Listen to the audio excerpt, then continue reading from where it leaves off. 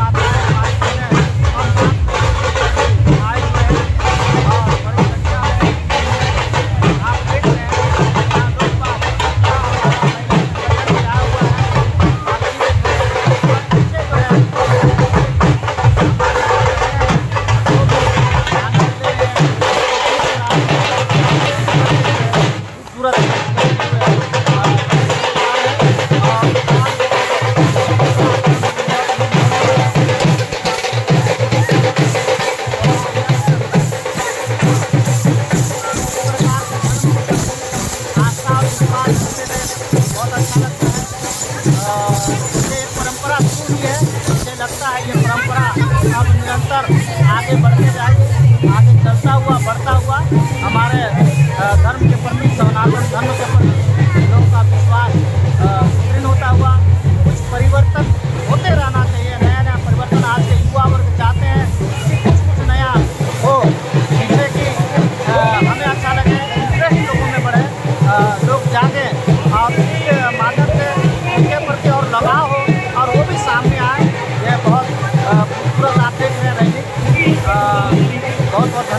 में खासकर हमारे जनों के अधिकतर हमारी भाभियाँ हैं, माताएँ हैं, बहनें हैं, बेटियाँ भी हैं, सभी लोग हैं, बड़ी संख्या में आप देख रहे हैं।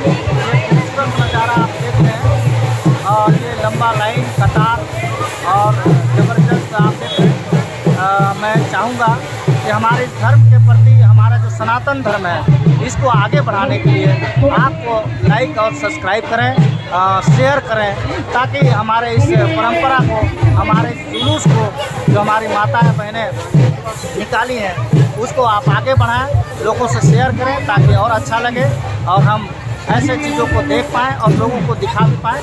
ये बहुत ही महत्वपूर्ण है, और मैं चाहता हूँ कि इनका सपोर्ट करना चाहिए, और जितना ज़्यादा हो सकता है लाइक और सब्सक्राइब करके इनको आगे बढ़ाएँ ताकि लोग देखें और हमारे जसपुर का भी एक स्थान हो।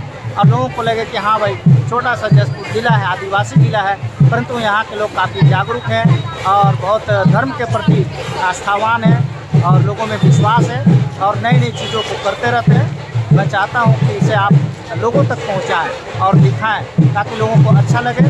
और सब्सक्राइब में बार बार कर रहा हूँ सब्सक्राइब करेंगे लाइक करेंगे शेयर करेंगे ताकि ऐसी झांकी आपको बार बार दिखे और लोगों तक भी पहुँच पाए। मुझे बहुत अच्छा लग रहा है। मैंने ये वीडियो आपके साथ शेयर किया है। मैं चाहूँगा कि आप जितना ज़्यादा हो सकता है लाइक और सब्सक्राइब करेंगे। देखिए कितना अच्छा लग रहा है। और कि बस स्टैंड के हृदय स्थल में सब पहुँचे हुए हैं। और मैं बार बार कह रहा हूँ कि ज़रूर आप लाइक और सब्सक्राइब करें ताकि हम ऐसे परंपराओं को जीवित रख सकें और हमें ऐसे चीज़ हमेशा करने को प्रेरित करता रहे। हम प्रेरित होते रहें।